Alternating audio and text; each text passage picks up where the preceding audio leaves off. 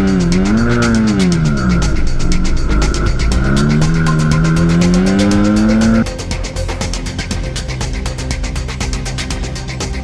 mm-hmm.